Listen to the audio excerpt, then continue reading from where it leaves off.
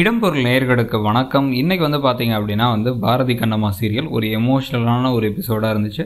அதாவது ரொம்ப நாள் கழித்து பிரிஞ்சிருந்த கணவனும் மனைவியும் ஒரே வீட்டில் இருக்காங்க. ஆக ஏகப்பட்ட சந்தேகங்கள் அந்த பிரச்சனைகள்லாம் அப்படியே இருந்தாலும் கூட இங்கே வந்து கண்ணம்மா வந்து நைட் ரெண்டு மணிக்கு வந்து திடீர்னு மாவு அரைச்சிட்டு இருக்கும்போது இவருக்கு வந்து ஒன்றும் புரியல. அதனால் அமைதியாக வந்து கேட்குறாரு எதனால இது பண்ணுற அப்படின்னு கேட்குறாரு நாங்கள் என்ன இவ்வளோ மாவு அரைச்சி நான் சா நாங்களே சாப்பிட போகிறோம் ஆக்சுவலாக சேல்ஸுக்கு அப்படிங்கிறாங்க. என்ன சேல்ஸுக்கு அப்படின்னா வந்து இது தோசை மாவு இட்லி மாவு நான் தனித்தனியாக எல்லாத்தையும் அரைச்சிருவேன் கீழ் வீட்டாக்கா துரசி எல்லோரும் சேர்ந்து பண்ணுறோம் அவங்களுக்கு உடம்பு சரியில்லை. இவன் நைட் ஷிஃப்ட் போயிட்டா. அதனால் நானே எல்லாத்தையும் பண்ண வேண்டியது இருக்குது அது அப்படிங்கிறாங்க. டெய்லி அப்போ எத்தனை மணிக்கு தூங்குற? அப்படின்னா ஒரு ரெண்டு மணிக்கு தூங்கிடுவேன். காலைல ஆறரை மணிக்கு எழுந்திருவேன் அப்போ நாலு மணி தான் தூங்குறியா? அது எப்படி பத்தும்? அப்படின்னா பரவாயில்ல போதும் நான் இப்படி கம்மியாக தூங்க பழகிட்டேன் அப்படிங்கிறாங்க.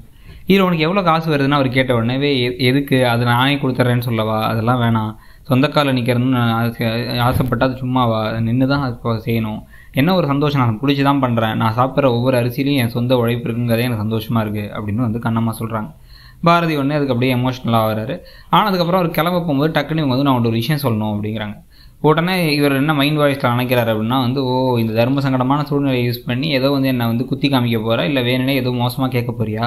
அப்படின்னு அவர் ரெடியாக பரவாயில்ல சொல்லு அப்படின்னு சொல்லி அவர் சொல்கிறாரு இதுக்கு பேரலாம் அந்த பக்கம் வந்து பார்த்தீங்கன்னா வெண்பா கிளம்பி காரில் வந்து கரெக்டாக அந்த பேரிகார்டு கிட்ட வந்துடுறாங்க. உள்ளார விடுங்க நான் ஒரு டாக்டர் இது ஒரு எமர்ஜென்சி இட்ஸ் அன் எமர்ஜென்சி அப்படின்னா என்ன எமர்ஜென்சி ஆனாலும் இருக்கட்டும் நீ கிளம்பி காலில் வந்து அப்படின்னு சொல்லிட்டு அனுப்பி விட்டாங்க போலீஸ் ஸோ போலீஸ் வந்து திரு திருன்னு முடிச்சுட்டு இவங்க கிளம்பி வீட்டுக்கு வந்துட்டாங்க. இதுக்கு நடுவில் இவங்க என்ன கேள்வி கேட்குறாங்கன்னு பார்த்தீங்கன்னா குடிக்காதீங்க அப்படிங்கிறாங்க. ஹேமாவுக்கு வந்து நீங்கள் தான் ஹீரோ ஹேமா உங்களை பற்றி அவ்வளோ சொல்கிறா ஆனால் நீங்கள் குடிக்கிறது அவளுக்கு வருத்தமாக இருக்குது உங்களுக்கு ஆயிரம் ஸ்ட்ரெஸ் இருக்கும் ஆயிரம் பிரச்சனை இருக்கும். ஆனால் குழந்தைக்கு அது தெரியாது. குழந்தை முன்னாடி குடிக்கிறது நல்லதில்லை அப்படின்னு சூப்பரான ஒரு அட்வைஸை கொடுக்குறாங்க. கொடுத்த உடனே அவரும் வந்து அவள் டக்குன்னு வந்துச்சு நம்ம அவள் நம்மளை குத்தி கம்பா நினச்சா இப்படி சொல்கிறாளே அப்படின்னு ஒரு எமோஷனல் ஆயிடுது. நான் உடனே சொன்னதை தப்பாக தான் மன்னிச்சுக்கோங்கன்னு இவங்க சொன்ன உடனே அதெல்லாம் இல்லை அப்படின்ட்டார். சரி நீங்கள் உள்ளே போய் படுங்க. எனக்கு பழ எனக்கு பழகிடுச்சு ஒரு லேட்டாக வேலை செஞ்சு அப்படின்னு சொல்லியாச்சு. அவரும் வந்து நான் எனக்கு இதெல்லாம் உதவி செஞ்சு பழக்கம் இல்லை. இதெல்லாம் செஞ்சு பழக்கம் இல்லை அப்படிங்கிறாங்க. நீ பரவாயில்ல உள்ளே போங்கன்னு அனுப்பிவிட்டாங்க அவர் தூக்கமே வராமல் படுத்திருக்காரு.